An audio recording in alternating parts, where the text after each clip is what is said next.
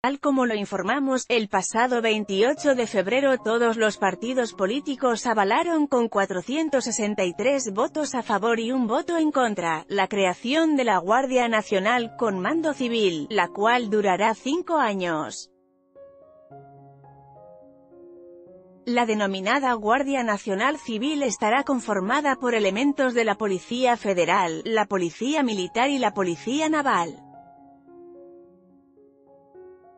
Mientras se expide la ley reglamentaria de dicha dependencia, esta asumirá los objetivos, atribuciones y obligaciones de la ley de la Policía Federal con gradualidad. Esta nueva fuerza policial tendrá disciplina y adiestramiento militar, y se prevé que cuente con 150.000 elementos al finalizar el sexenio de AMLO. Por su parte, el día de hoy los congresos de Zacatecas, Querétaro y Colima aprobaron por unanimidad la minuta que da vida a la Guardia Nacional, con la que se busca enfrentar la delincuencia en el país.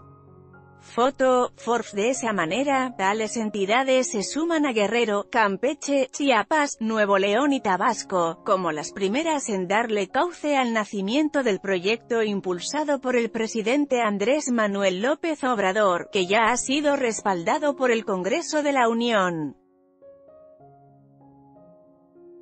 Hace unos días, Alfonso Durazo, secretario de Seguridad y Protección Ciudadana, aclaró que una vez que se aprueben los cambios constitucionales se establecerán las características, los tiempos y procedimientos para que el Ejecutivo Federal designe a su titular como lo establecerá la reforma y la ley reglamentaria en su momento.